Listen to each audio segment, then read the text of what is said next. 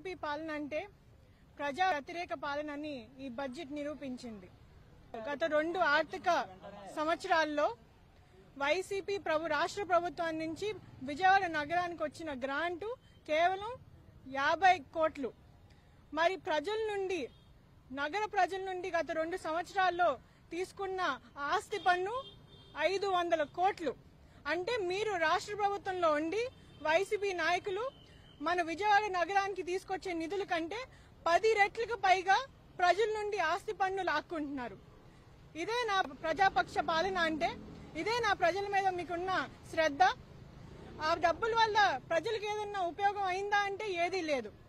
గత రెండు సంవత్సరాల్లో మీరు ఇక్కడ విజయవాడ నగరంలో ఎన్ని కిలోమీటర్ల సీసీ రోడ్లు స్థాపించారు? వాటర్ కెపాసిటీ ఎంత పెంచారు?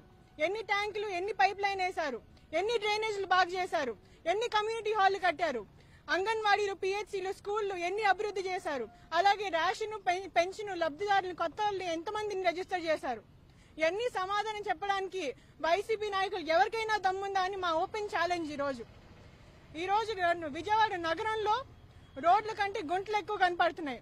ఎన్నో ప్రాంతాల్లో గంట సేపటికి మాత్రమే నీటి సౌకర్యం ఉంటుంది. అలాగే రేషన్ లబ్ధిదారులని లిస్టులోంచి తొలగించేస్తున్నారు.